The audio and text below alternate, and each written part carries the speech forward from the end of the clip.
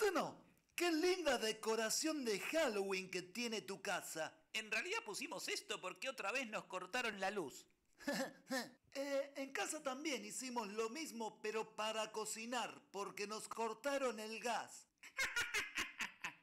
¿Viste que en Halloween todos se disfrazan de malos para salir a pedir por las casas? En la política es al revés, se disfrazan de buenos.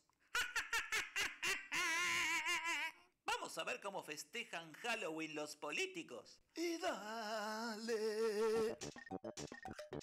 Mirá qué buena onda la reta. Hoy permitió que su gente fuese a trabajar disfrazados de brujas y fantasmas. Eh, en realidad están con escobas y sábanas, barriendo y pintando la plaza después de los destrozos. Magario recibió a esos chicos y les está dando un montón de caramelos. Ni siquiera en Halloween pierde oportunidad para promocionarse.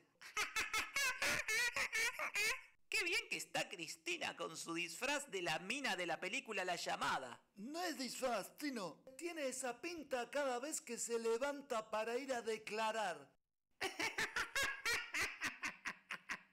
Mauricio hace una hora que está con esos personajes en la puerta de su casa. Eh, prefiere abrazar a la parca Satanás y Freddy Krueger con tal de evitar unos minutos a Lilita que lo fue a visitar.